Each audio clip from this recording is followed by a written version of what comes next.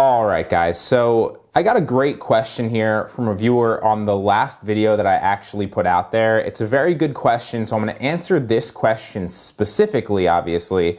But then I'm also going to take this as an opportunity to kind of tie in a lot of the main points that I've learned over the past two weeks or so where I've really been diving heavily into the drop shipping to test it out, see if it works. And I'm really going to give you a lot of the top insights that I've learned, um, you know, things that you can improve on and focus on that's going to help you make more money in your drop shipping or reselling business, obviously, as well as, um, some key things and key lessons that I've learned over those two weeks, right? So, first and foremost, I'm gonna read the question answer it specifically, but then I'm gonna also, also take this as the opportunity to tie in a bunch of the points that I've written down right here that I was kind of just like spitballing in my mind to kind of relay to you, okay? This isn't really gonna be too formal of a video where like I've structured it. I've literally just put points down. I think these points are all things that will really, really help you out. So hopefully you can, it, hopefully they all help you, but at least get one or two nuggets of wisdom that obviously help you, you know, make more money, list better products, etc. okay?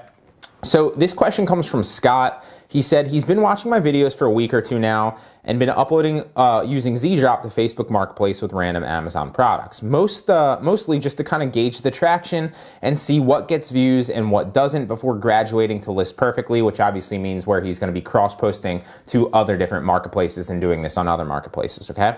He said he was going to ask me if I would do a video on increasing views, not just methods, but maybe like a segment on managing expectations.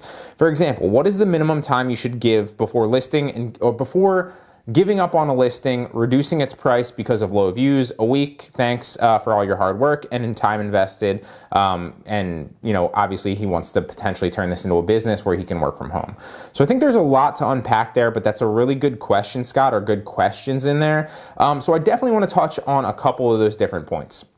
First and foremost, Zeedrop is definitely, I've played with a couple of different ones now. Zeedrop is hands down the best one that I've found out there. Um, and there's definitely some other points that I've written down in the Word doc that I'm about to go over with like 10 key pointers that, to touch on there um, that, that's really going to help you. But a couple things stick out to me in your specific question here. You said, first and foremost, uh, what's what's the minimum time that you should obviously, you know, kind of give up on a listing? I personally, I've seen that you shouldn't give up on listings, right? There's been, you know, depending on how many products you're listing, you know, some of your products will get a lot of traction, some of them will get like no traction, and others will get like next to none, right? And for a while there, I was like, should I go back? Because I actually saw this in a Facebook group about dropshipping. Like, should I go back and delete the ones that are getting no no traction? And then what happened the other day was I got a sale on something that had had literally had like no views on it, and I listed like almost a week and a half ago. So I've literally seen like, don't give up on listings. You can still simply leave them there one of the things that I thought, because I'm fairly new at this too, like I've obviously been taking it pretty seriously over the past week or two, but like I've been, I'm kind of learning on the fly as we go here too, right? Like I'm new to this, I'm relaying every single thing that I learned to you because I, I obviously resell a lot, but I don't really drop ship. So this is all new to me. I'm learning on the fly as well. One of the things that I thought that I, I think I relayed this message in one of the last tutorials that I did um, was that like you, your listings have a shelf life on Facebook Marketplace, right? I thought that originally and they still still kind of do, don't get me wrong, right? Like you'll see that you can re, uh, renew your listing five times, I believe. And then what that basically does is it puts it back up into the, um, like the feed or like the top of the marketplace where it's going to get more views, right? And so I thought that like, okay, once you renew it five times, like your listing's dead if it doesn't really get any views or any traction, but it's not. It's still going to sit there and be listed, right? And one of the little hacks that you can do around that, which I think is one of the points that I put down in the Word document that I'm about to relay to you, is you can also just go back in there a lot like you see Poshmark going in the past or in the background right now with um, like it's just automating like the sharing. One of the things on Poshmark, and really in a lot of different ways, but especially on Poshmark, this works on eBay as well, is like if you edit your listing and modify something slight, right? It can be the it doesn't even actually need to be modified but if you just go in to edit it and then like type around and then like delete what you typed and then pick, click post boom it's uh, that the, the website this in this specific case poshmark but obviously we're talking about facebook marketplace is going to treat that as a new listing or that you've updated the listing because they're going to see that you went in edited it bam, and then posted it, right? So that's another little hack, and another little trick that I've seen works very, very well on Facebook Marketplace, right? So for example, there's a product that um, I sell on Facebook Marketplace that for a while was selling like two or three a day. It was a very low margin product, but it was selling like two to three, um, you know, sales a day, like almost every morning. And one of the things that I kind of figured out that would get that sales is like if I, and this is still anecdotal, so I'm still ga- gathering data and just kind of spitballing things here, but like what I noticed is like if I would wake up to a sale or two with there and then I would just let it go and I just print out the sales, you know, obviously order it from the supplier to the, to the customer and then let it go, it wouldn't really sell again like until like later on, right? But if I edited the listing and then republished it kind of, like I'm not really making any changes, I'm just like literally going in and editing it and then clicking publish again on the listing, then it seemed to get more more sales, right? And so there's no concrete, I don't have any proof of this. This is just things that I'm seeing, you know, anecdotally in my own business. So that would lead me to believe, and I know this firsthand works on Poshmark, okay? And I also know that there's an impact with eBay, right? So it kind of brings your listings a little bit to the forefront. It's not gonna work every single time, but it definitely can work. The whole reason I'm trying to say that is don't give up on your listings. Instead, go back and re you can go back and renew listings obviously, but also go back if you're not if your listings aren't getting any traction, edit and republish them and see if they get traction, then see if that works, okay? So that's the first little tidbit I'd kind of say um, is, you know, don't give up on listings, just leave them there, right? Just they, they could potentially get you sales. Also, you can go back, you can adjust things if you want to, don't get me wrong, right?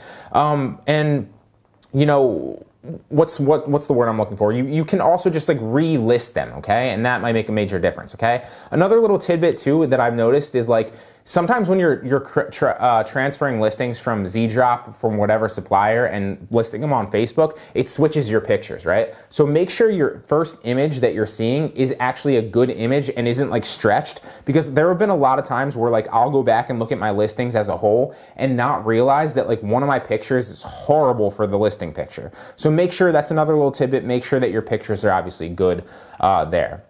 Another little part of this that you said is um, you said what like managing expectations. So yeah, I, I think that's some, definitely something I'm going to touch on at the very end of this because I made a point to do that. I definitely think you should curb your expectations in the beginning. You can't just hop on and list five to 10 products a day and think you're going to be making like 10 grand a day, right? Or like 10 grand a month on this. I know there's a lot of people out there that are saying those things and they very well might be doing that. I'm not saying that they aren't. I've been in business online for a long time now. So like I know firsthand, like that's very possible in a lot of different aspects in a lot of different niches, right?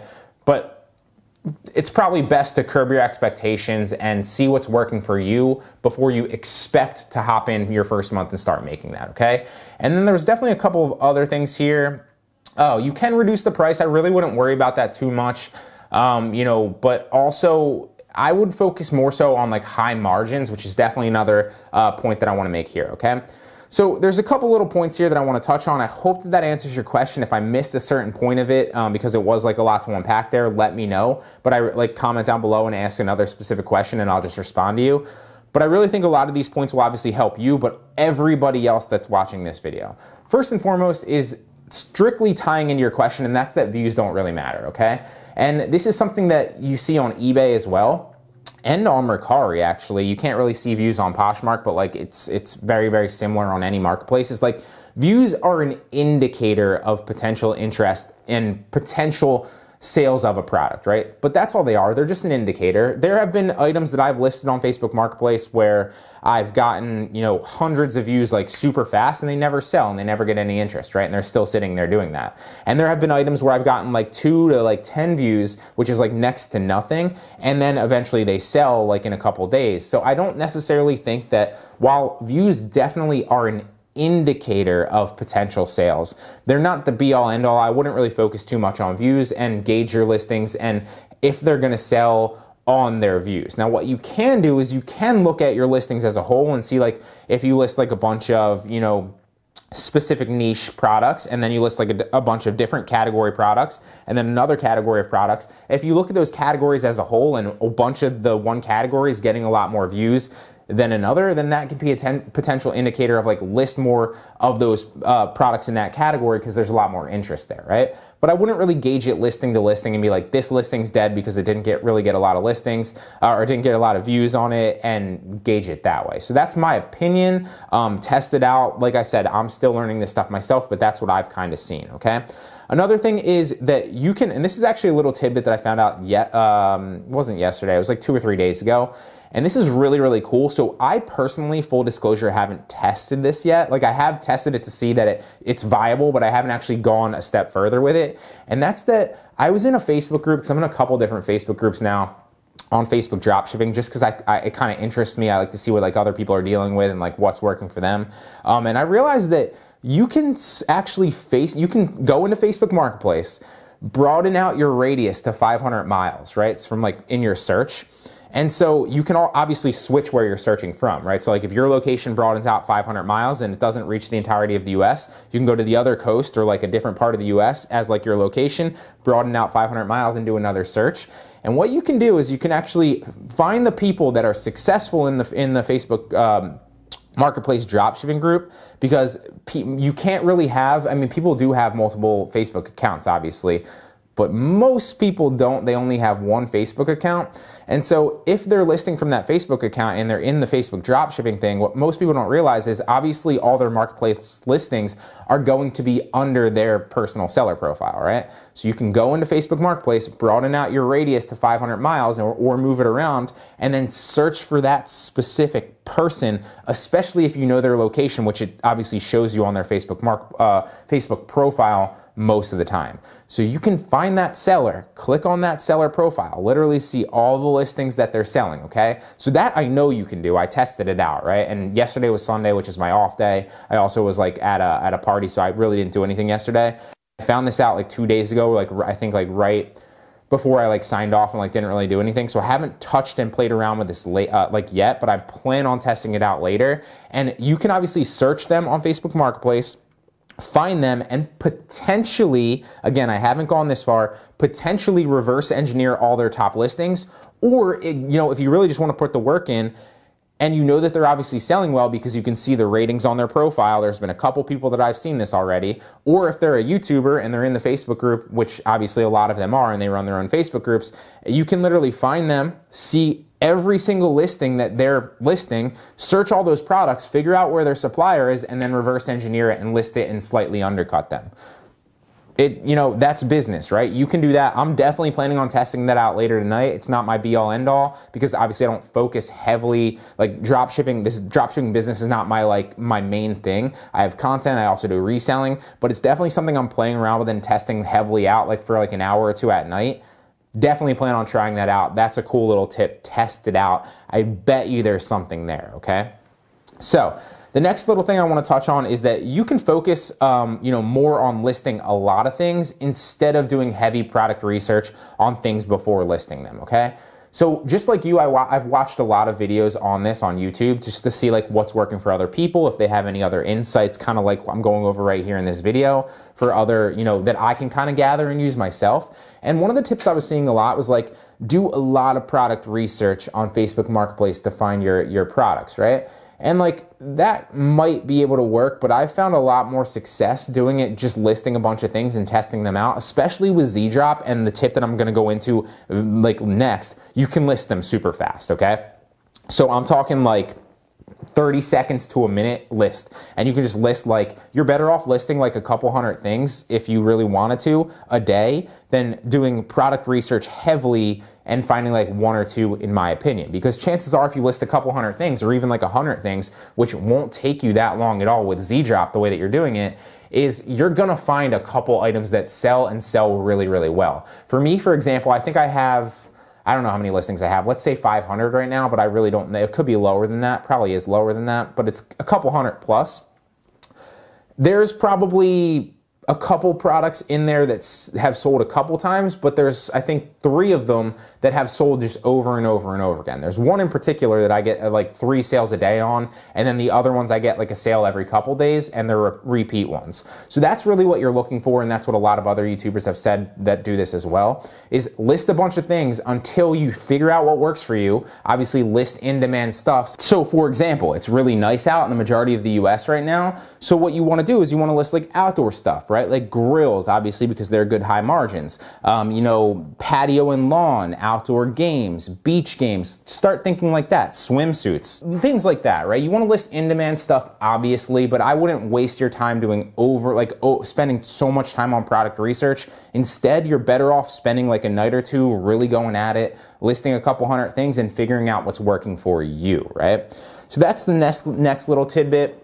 The next thing that I found cool that I actually didn't know originally is in all the rest of my tutorials in the past, I was showing you like my my inventory system, right? Where like I'd put the number at the bottom of the description, and this is specifically just for Facebook Marketplace. If you're not using Zeedrop, then you need to do the list. You need to like have some kind of inventory system as well. But Zeedrop actually um, will store your inventory. If you go into the Zeedrop, you can look at all your products and you can actually search through your products, right? And then it has the price of the product, and then like on the actual supplier website, it holds that and then also can is a clickable link to that actual supplier website. So I didn't realize that until like a few days ago where you can you don't need to actually keep track of your inventory if you're using Zeedrop to pull it to Facebook Marketplace or to Etsy because what it will do is it will store your inventory and you can just click the link, right? So if you sell like you know, I don't know, like Barber, Weber, Grill, whatever it is, right? Like you just search that in Zeedrop when you pulled that listing over. Make sure that you don't change the title too much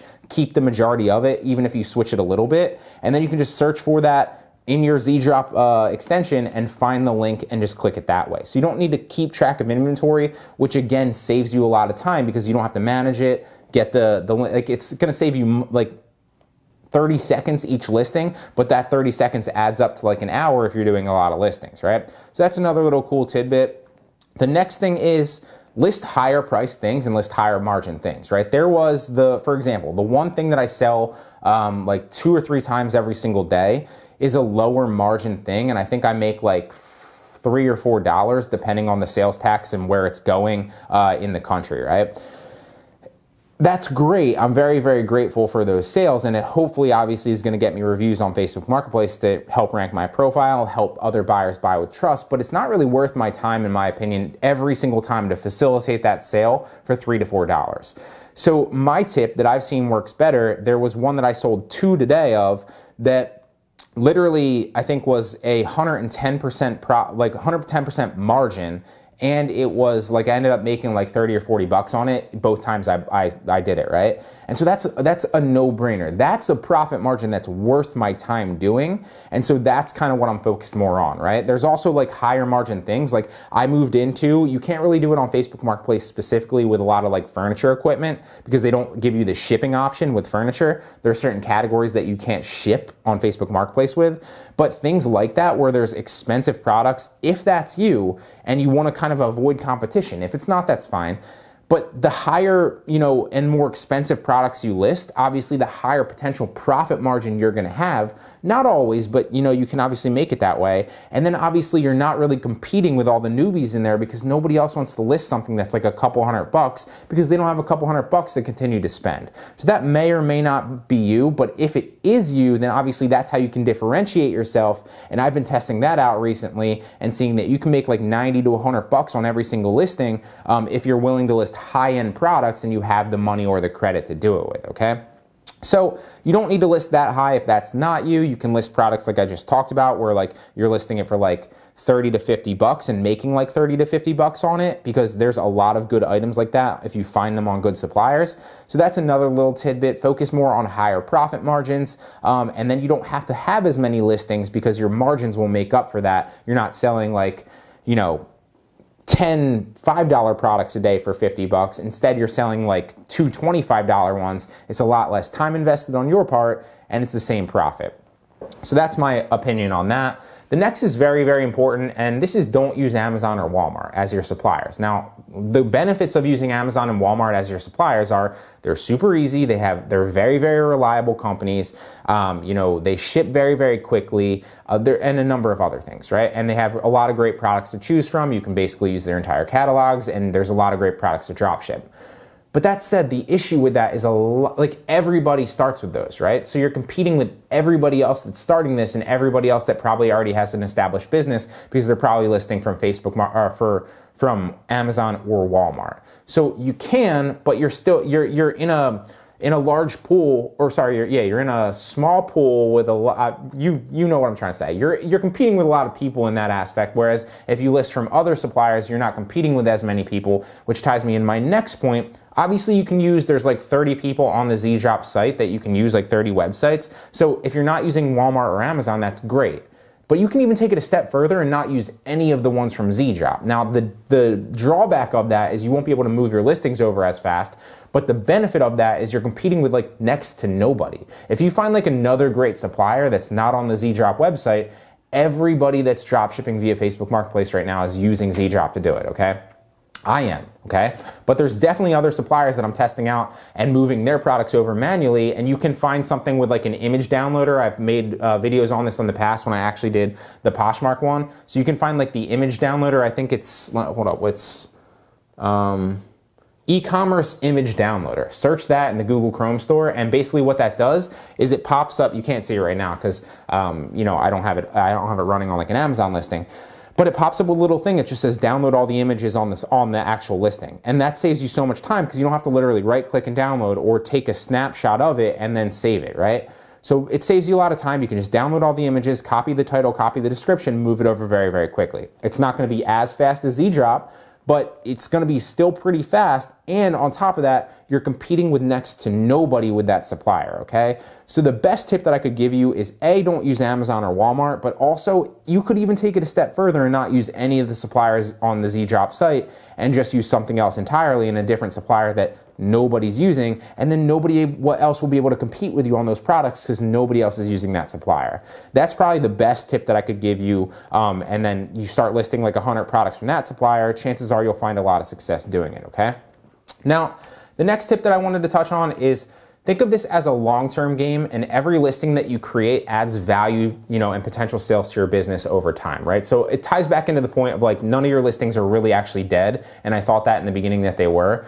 But every single listing that you list, and I've been looking at this on Poshmark and seeing that it's true because I don't just drop ship on, on Facebook Marketplace. I've been testing this out on a number of platforms every single listing is a potential sale over time, right? So the more listings that you have, obviously this doesn't correlate specifically, but the more listings that you have potentially, the more potential sales that you'll make. This is true in reselling. It's also true in dropshipping. So look at it as a long-term game. The more listings that are quality, obviously, that you add to your store, the more potential sales that you get over time. Because honestly, there's a lot of people on YouTube creating videos right now that are like, how to make $100 a day drop shipping on Facebook Marketplace, or how I made $10,000 drop shipping my first you know month on Facebook Marketplace. I'm not saying that they're lying. They very well could be doing that. But but it is important to curb your expectations and I totally get as like somebody that creates YouTube videos, I've far like I've gone way past this where like I genuinely don't care like if the views get none of my videos get much views anyway. Um, it's just kind of like a fun thing for me, and also I relate it to you, and also like this is a good target market for my resale university course, which is I help you eventually if I help you enough. You'll potentially go through and buy the course, which um, first link in the description if you want to check out a video of what it is, how it can help you, and how you can get a free dollar, not a free, a dollar trial for it. Um, but so the whole thing there is like I get why they make those videos because and title them that way. Like I'm no saint either. I've done that in the past and I probably still will continue to title videos like that if I come up with a decent title. But like a lot of it's hype. They probably, you know, some of them probably are doing that. Some of them probably aren't doing that. Curb your expectations. Think of it more as like a long-term business and don't go into it. If you go into it with the mindset of like, I need to make $10,000 this month or I need to make $10,000 next month drop shipping on Facebook Marketplace, you're going to get bummed out because you're not going to see those results right away and it's going to discourage you. Instead, set a realistic goal. Maybe I want to make five sales a day, uh, you know, consistently over my first month or I want to make $1,000 from this profit my first month. Those are obtainable goals that you can hit. And then that will inspire you once you hit them to see like, okay, like I made a thousand, like how can I actually scale this now? Maybe I add more listings to my store. Maybe I add more, you know, I find a better supplier. Maybe I branch out to other marketplaces, right? So look at it more long term. Don't look at it as like a, some easy way to get cash right now, okay? And the next thing that I wanted to touch on, and finally is specific to your question, but also specific to everybody, is like I've been probably getting like five sales a day now. And one of the things that ish, I, I haven't actually added it up because I, I have like a long spreadsheet and this ties directly into my point is like I don't I don't draw any specific conclusions yet because it's too early. It's only been like 2 weeks really that I've really been going at this, maybe a couple weeks more than that like where I was testing it out with like a listing here and there, but it's only been like a week or two realistically that I've really been kind of testing this out in depth. And so I don't have enough data yet, right? So the key lesson here is don't pivot too fast, don't judge your listings too fast, don't judge your products, don't judge the category that you're listing in too fast and look at it more as a long-term game, right? That way as you accumulate more data and you do it like over a month or two, you'll have more data, you'll know what works for you and you'll be able to make better, more informed decisions. This is true in any online business, but obviously drop shipping. A perfect metaphor and an example of this is like when I run advertising, I'm doing it on YouTube right now. You might have even seen some of them if, as somebody that watches this channel. I used to panic when I didn't like in the beginning, like I used to sell my course for like 500 bucks with the discount, right? It was 995, but then discounted to 500 bucks. And if I didn't make that 500 bucks, like if I ran ads that were like 500 bucks and I didn't make a sale, I was like, oh my God, and shut the ad off, right? But now I'm seeing that like if you give it more time, more data, it optimizes better and you start to get better results over the long term and your cost per customer, your cost per lead, all that stuff goes down, right? Your cost per click your cost per impression. And so it's the same thing with Facebook Marketplace. It's the same thing with drop shipping or any of these types of things, right? Do it more, accumulate more data. I'm not saying do it for a year, but don't just do it for like a week, look at your listings and think that they're, you know, you're not successful or you're doing something wrong. Do more of it, accumulate more data, then draw better conclusions with more data. You'll see more consistencies. So those this wasn't like an organized video. This is just like stuff that i'm spitballing off the top of my head that i thought could really you know help you guys and like insights and, and mistakes that i've made over the first couple weeks doing this myself. I really hope that it helps. Give it a thumbs up if you appreciate the value in this video. Drop a question down below if you have a specific question that you'd like me to answer and maybe i'll turn it into a video like this and i'll see you in the next one